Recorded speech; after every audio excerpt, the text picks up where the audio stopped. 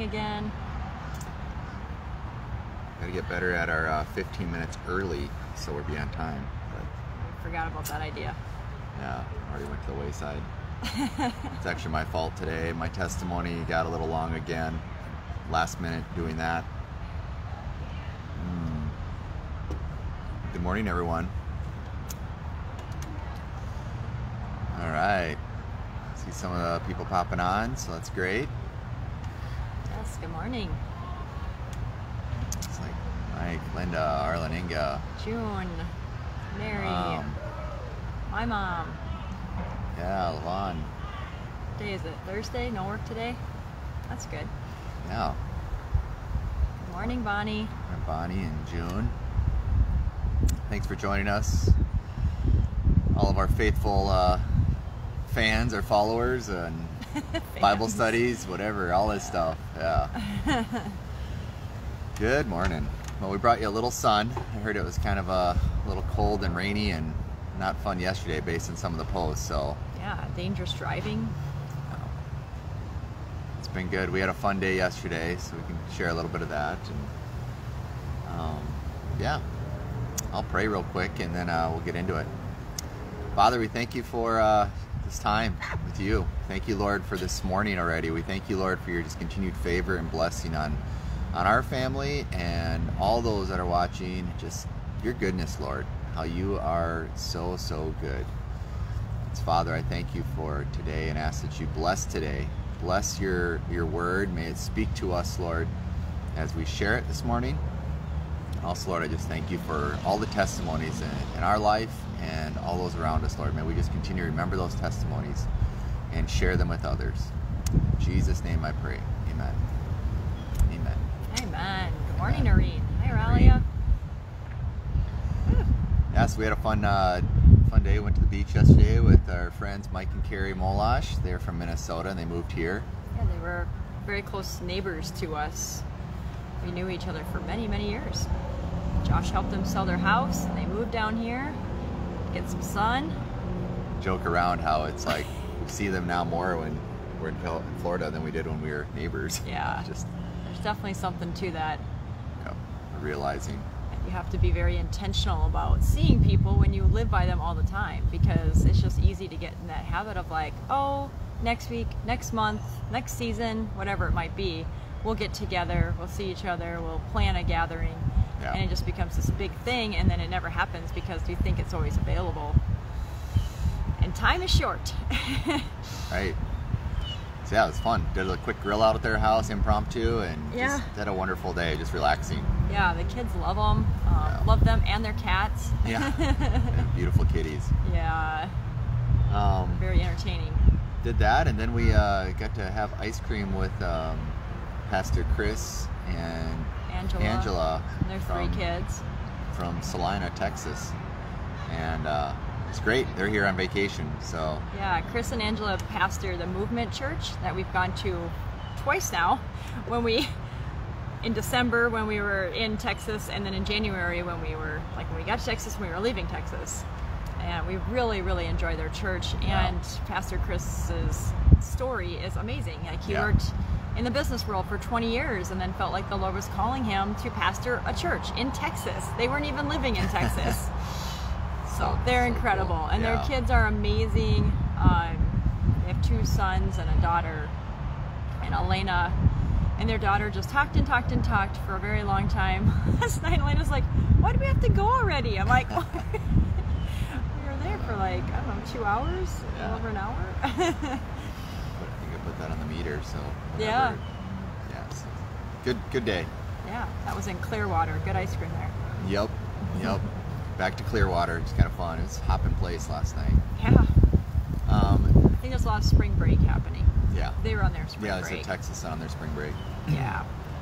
Yeah, it was just great to encourage each other in the Lord too and Mhm. share testimony of his goodness and just to, you know, like share what the Lord is showing each of us. Yeah. Like kind of how we're having these aha moments and and uh, just to step out and do things a little differently.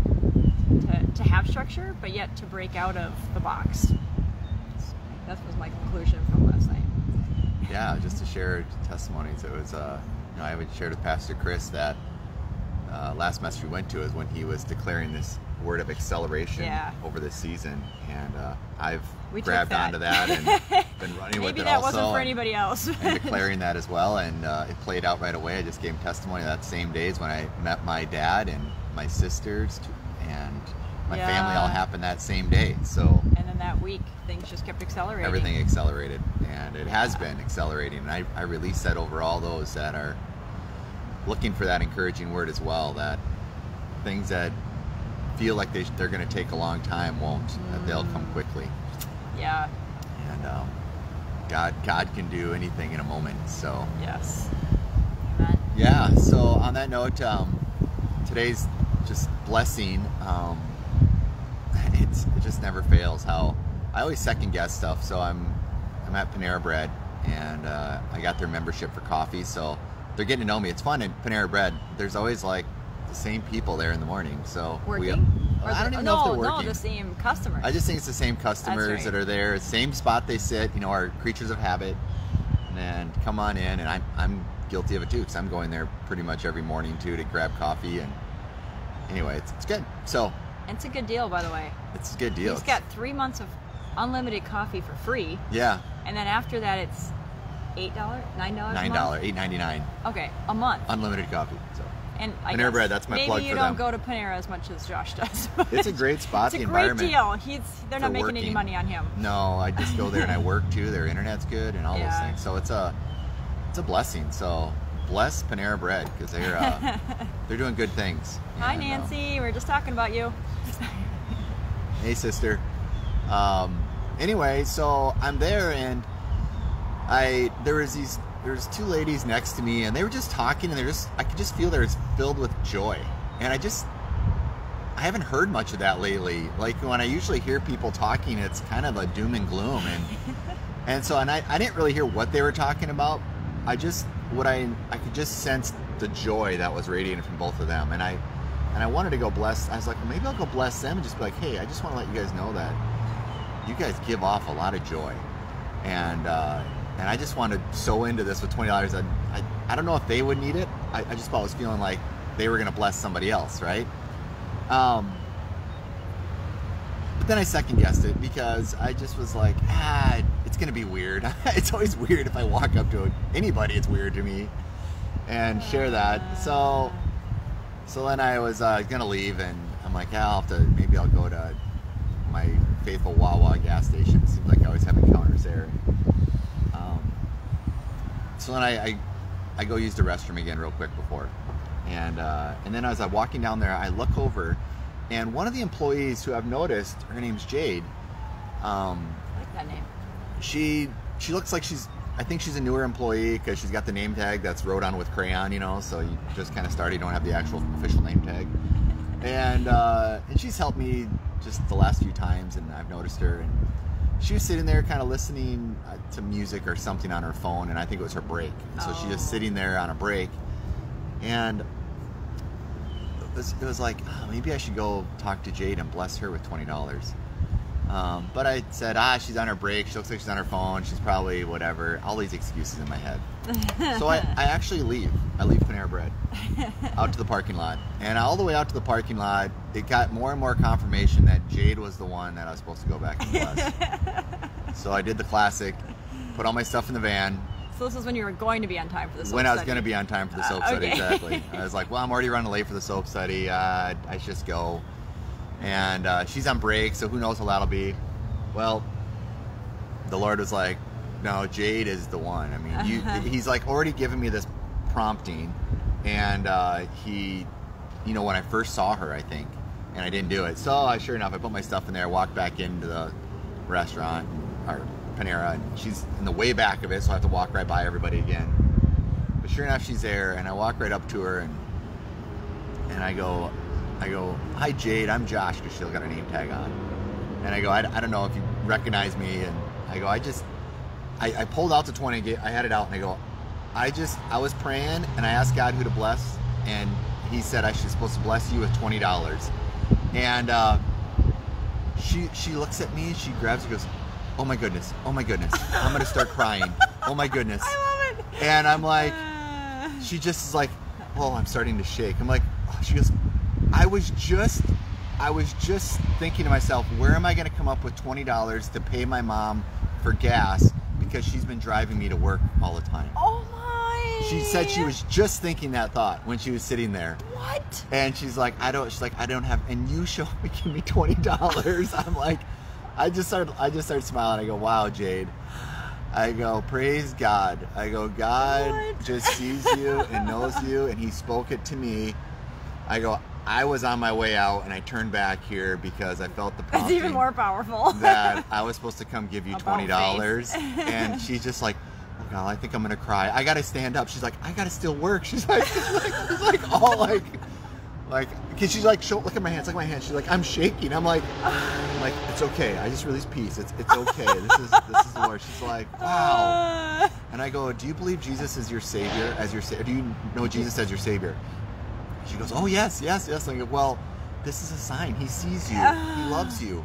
He's he's hearing your providing- he's prayers hearing and your prayers." answering them in real time. And uh, she's like, "Oh," she's just like, "Oh my gosh, oh this is so good." And I'm like, and she's like, "Ah," she goes, "This is this is so helpful. Thank you very much." She goes, "I." She goes, actually, I, you know, I just, I just got this job, and we, our family, you know, she goes, I'm only 20 years old. oh wow! I'm gonna ask you how old she was. Okay. She's like, I'm only 20, but my family, you know, they're in need. And she goes, I have to help buy diapers too. It's not for my kid, it's for my sister. We have a baby. And, Wow. and she's like, I, I've been looking at, they need diapers and stuff like that. And so this is, this Oh. is really big. And she goes, I just started, so I don't have a check. And, and I'm like, wow. Well, let's. pr- I go. How can I be praying? She's like, kind of talking about that. I'm like, well, can I pray for continued favor and blessing on your life and that, provision. and just giving God the glory for His presence and that He's shown Himself faithful. And uh, so we prayed briefly. It was pretty quick prayer. She's like, "Oh, I got to go back to work," and she's like, "I, I don't, I don't want to start crying. 'cause I'm supposed to be." You know, like, I'm like, "Well, you can process this later. Just know that the Lord loves you and sees you." And I just said, "You know, Jade," I go, I, I just pulled out my wallet. I'm like, "Hey, Jade." This, this twenty dollars. Th- this was this one's from the Lord. This one is just for me. Yeah. I just want to bless you. I and, love uh, it. She's like, really? Whoa, this is incredible. She's like, I'm like, I go, yeah. I go, thank you for just loving your family so well. Yes. And uh, you are such a treasure Honoring. to them. And so, Mm. anyway, I go, Jade, I'm sure we'll, I'll see you again. I'll be back here, of course. And uh, we'll, Mm. I uh, love that. Yeah, good point. And so, anyway, just incredible encounter, right? Just being faithful and listening to the Lord. Incredible. And so, uh, Jade, it just bless her. Uh, knocked her socks off. Oh, yeah. yeah, Noreen. I mean, just think, she's like, is this like? I would almost have to like blink. Like, is this really happening? I was literally just thinking and praying for this, and then here comes this random guy giving me twenty dollars because the Lord told him to. wow. God, you wow us. I- God, you wow us. I just don't know how you could say that there is not a God. No. With, if you hear any of these testimonies. No. that I just I just sit there and I'm like I said praise God with her. I go praise mm. God. I go this is a sign and a miracle just right here. Yes. Um, you were just praying for 20 she's, she's specifically twenty dollars. like you should have I mean it's like sometimes I wish I could video this stuff because if you could see her face and what the response it's like it, yeah it's pretty cool. So, thank you Father for your timing. Thank you Lord for your provision. Thank you for your promptings.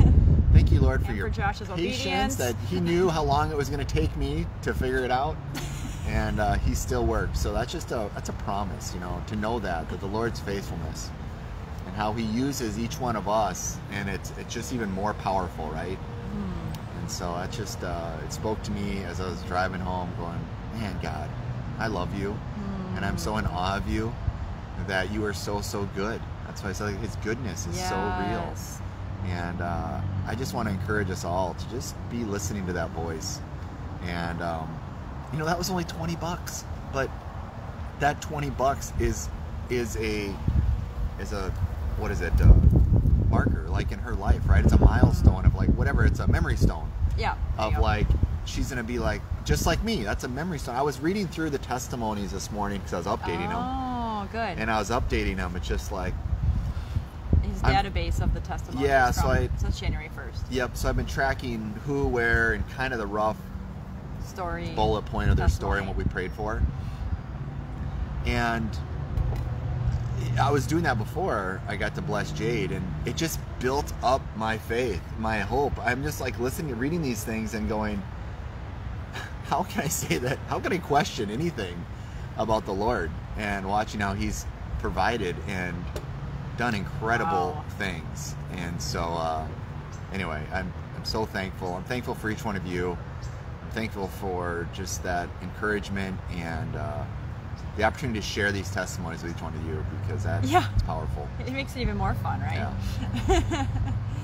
So anyway, that's that's that part of it. Wow. Now we now we move on to uh, the soap study of Do you have graphs?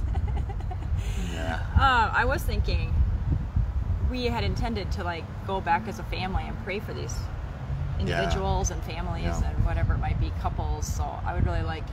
I was just thinking we could incorporate that into our day at some point. Like the kids can even just pick one and pray on their own for that person, but also we could just pick one every mealtime that we're praying and pray for that person or people. Yes And, and you know, I think that'd be really powerful to teach our kids. Like, yeah, you might think that you're you don't know the whole circumstance and that you don't know how to pray for them, but that every single word that you utter is heard by the Lord, and He is He is answering those prayers. I mean, they yeah, we'll have to make sure they hear this one. yeah it's pretty cool. So anyway, Awesome. Um, So where did you land Galatian two. Um, I went with Galatians two at twenty. Yeah. It's a Okay. pretty known verse. Oh yeah. Um, All right, I'm in. I have a verse from Galatians one, and that ties into 12, 13, and 16. okay. well, you can do that. You don't I have to make it this complicated. it's just that when I'm listening to it and reading it, I feel like the Lord makes these like supernatural connections for me, but I don't always have a great time explaining those connections with my verbal words. So sorry if I get kind of confusing sometimes. Do you want me to go first? Yeah. Okay. So back yesterday in Galatians 1, this just really stood out to me when we listened to it the night before. And then when I read it, and then I even sent it to a friend of mine because she has overcome a people pleasing spirit in her own life. Um, so Galatians 1, verse 10, I just, I love this. This is Paul talking. He says, obviously, this is NLT translation. Obviously, I am not trying to win the approval of people, but of God. If pleasing people were my goal, I would not be Christ's servant. That just was like bam, because I have struggled with a people pleasing spirit in my past, and I am overcoming that Right. each day I am declaring. Uh, and verses like that super help me out, really help me out because it's like, oh yeah, yep, yep, that's the perspective I need. That's the eternal perspective that I need. So here's how I related it to Galatians 2. This is Paul confronting Peter, and I do not remember reading this before. I don't either. Okay. That too. Because I'm like, sometimes things you can read it and it, it just didn't mean anything in that time. Yeah. But I think because I had focused so much on Galatians 1:10 yesterday, this really, this story really stuck out to me. So maybe I'll just read kind of this whole part. Paul confronts Peter. This is starting in verse 11 in Galatians 2. But when Peter came to Antioch, I had to oppose him to his face. Confrontation. Something I struggle with. Good job, Paul. For what he did was very wrong. When he first arrived, he ate with the Gentile believers who were not circumcised. But afterwards, when some friends of James came, Peter would not eat with the Gentiles anymore. He was afraid of criticism from these people who insisted on the necessity of circumcision. As a result, other Jewish believers followed Peter's hypocrisy, and even Barnabas was led astray by their hypocrisy.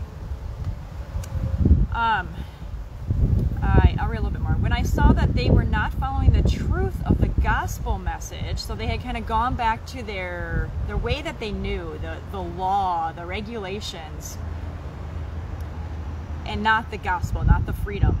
I said to Peter in front of all the others, Since you, a Jew by birth, have discarded the Jewish laws and are living like a Gentile, why are you now trying to make these Gentiles follow the Jewish traditions? You and I are Jews by birth, not sinners like the Gentiles. And then verse 16, yet we know that a person is made right with God by faith in Jesus Christ, not by obeying the law, the old system. And we have believed in Jesus Christ. We have believed in Christ Jesus so that we might be made right with God because of our faith in Christ, not because we have obeyed the law. For no one will ever be made right with God by obeying the law. Amen. And that's hard.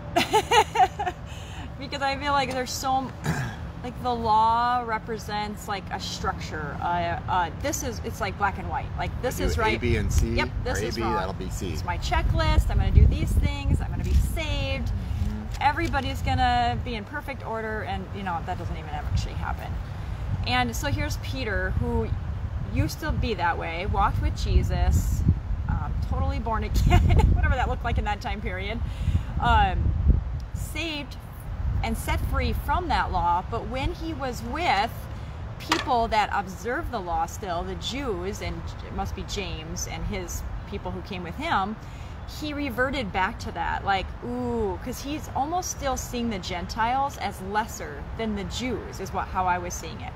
And and I feel like I can correlate that in different ways in my life too. So he he then decides to enforce the law and judge the Gentiles, even though he was just doing the same things that he was he was with them, he was eating with them, which another unclean or uncircumcised. I don't quite understand all the circumcision stuff. He he now is like, oh, now I'm higher and mightier because I'm in the law than you people. And so who is he trying to please? That's what came back to me from Galatians 1:10. He's trying to please the Jews, the people. Because he's just like, well, that's that's what I know. That that will create less controversy. And Peter is who also was a Jew, very much in the law, very much regulating the law and enforcing the law to the point of death of the of the Christians. He's seeing it as an overall picture. And so I'm not judging Peter here. I'm actually relating with Peter and going, oh my, that's where I am at so many times. And I need like a Paul in my life to go, Sara, what are you doing? Who are you trying to please? Why are you giving into hypocrisy when you're with these people versus these people? You know, why are you why are you somebody different when you're at church versus at work? I would say that mm-hmm. was a huge thing for me when I worked in pharmacy.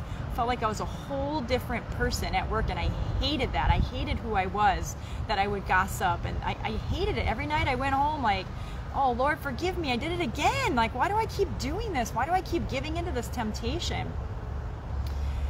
But yet when i was at church i would be like oh yes i'm not going to do that. And i was this whole different person. I was sort of living you know it's not fun to live like two different lives. Right. um, casting crowns has a song about it. As you can see i relate to music. I always have a song to go with what i think uh, I think it's the stained glass masquerade. that, oh, why do I leave it at the altar? Why do I leave it at the door when I leave church on Sunday? Now, I feel like since leaving the corporate world and, and the lifestyle we're living, thankfully I've been able to step out of that and I'm just me wherever I am. I, I would even say, like, we took the DISC assessment. Um, if you've ever done this, like a personality type of thing. And they would say, at, I did it at St. Francis at the hospital I worked at. They would say, like, okay, well, now you're probably somebody different here at work than you are at home. So we're looking at you, Sara, at work. So take it how you would respond to these things at work. And isn't that just enforcing that we should be a different person, like with our family versus with our coworkers? Right. Yeah, we're all God's family. Should we not love our neighbor who could be the coworker sitting next to you who's super annoying and not following the rules? I know you guys have been in the situation as I was all the time. They're on their phone, they're on the internet, they're not working, you're doing all the work, you're answering the phone calls. I know this.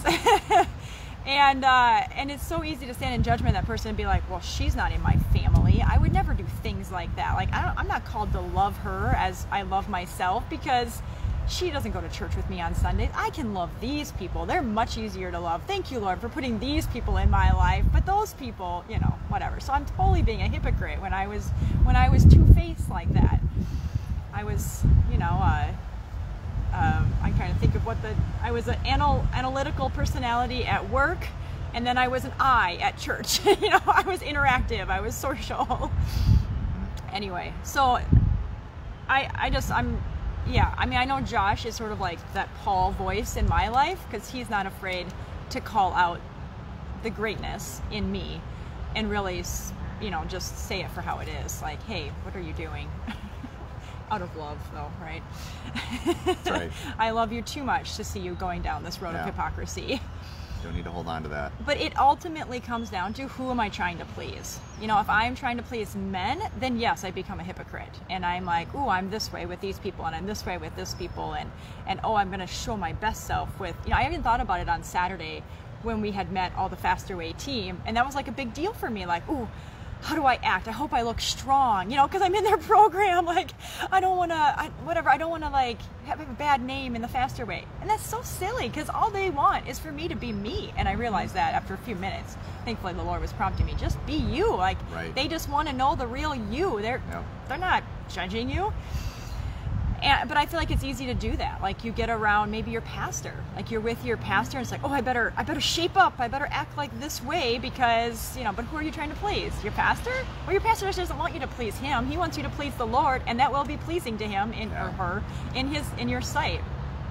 So that that's my my conclusion, and and I want to listen to that voice of Paul in my life, like that confrontation, going, hey, wake up, like this. Who are you pleasing here? Are you pleasing God? Is that what you're fully living for? Because if you aren't, then you're not Christ's servant, as Paul says, and he saw it for what it is. I love that. And to not, um, so it's for me. I tend to when I when I get confronted in that way or whatever. Like, say I was Peter in that circumstance, I would sort of go down this road of like condemnation or shame because I I can heap enough of that on myself, and then I'm like, oh man.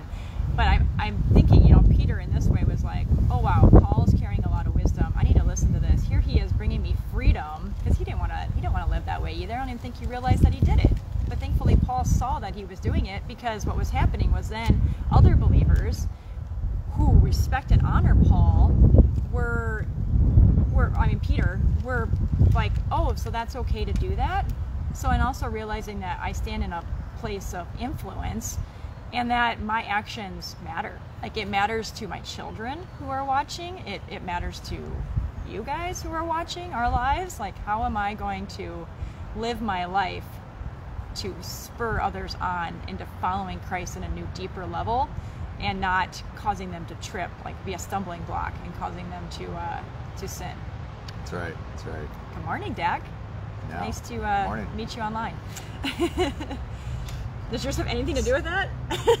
Um, no, I was going down. Uh, well, yeah. I mean, it has something to do with that. It's just uh, the law. mine. Mine was more about the law, and you know, as we were reading in Deuteronomy Yeah. about the commandments and the law, and you know, you you can so quickly get sucked into, you know, this is right, this is wrong, and get legalistic very quickly. And so that's where, you know, like Sara said, I think my mind wants to go too. It's like, well, if I do these things, and this is going to be the outcome. I'm, I like, you know, equations that make sense, right? So I do A and B, it's Yeah. always going to equal C. So if I give to the poor and do all these great deeds, then I'm going to be blessed. It's like, yes, but it's not because of your deeds. It's not because of doing good things.